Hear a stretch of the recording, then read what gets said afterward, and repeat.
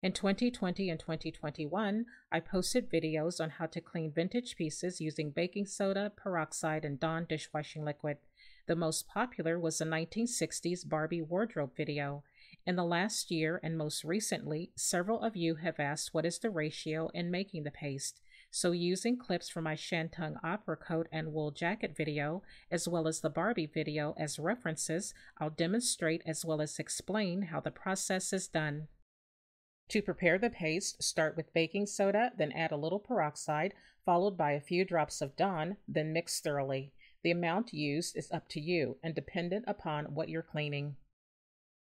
Use a plastic rather than metal spoon when applying the paste to prevent damage to vintage pieces. I don't recommend using any other dish detergent but Dawn. What I discovered while using Palmolive dish detergent in the Barbie video was an ammonia smell emitting from the paste. At the time of filming, this was all I had available. Luckily, I was careful with the amount of products I used. Other than a bit of color bleed from the sunflower dress, all the pieces turned out fine, so I strongly recommend using only Dawn in the paste.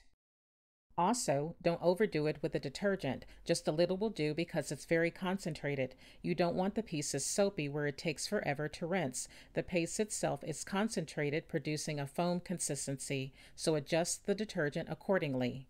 The paste not only cleans and freshens vintage pieces, but also brightens, giving them new life.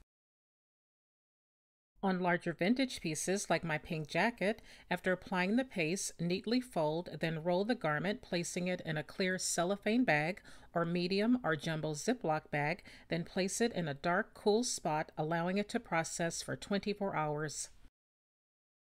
As for Barbie clothes, 25 to 30 minutes or less processing time is all that's needed.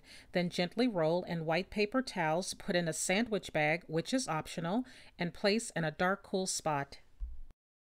After the pieces have processed, rinse in lukewarm to cool water, preferably cool.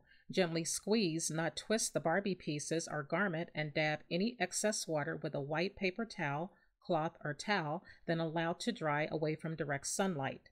The reason for using white paper towels or linens is to prevent color transfer from or onto pieces.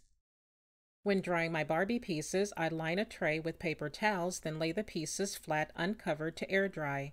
After drying, the pieces are steamed, then stored in resealable cellophane bags. The sizes I use are 5x7, 7x7, and 6x9. The bags keep my Barbie wardrobe collection clean, free of odors, moth damage, and sun exposure.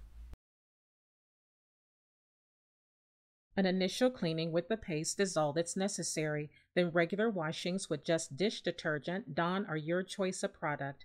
Between washings, spot clean pieces with plain baby wipes or freshen with fabric sanitizer.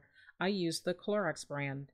Remember, these pieces are 50 to 60 plus years old and their integrity must be maintained. For darker color pieces like Gay Parisienne, Let's Dance, Fancy Free, and others, do only regular washings in Dawn or your choice of product and cold water. I hope this video has been helpful.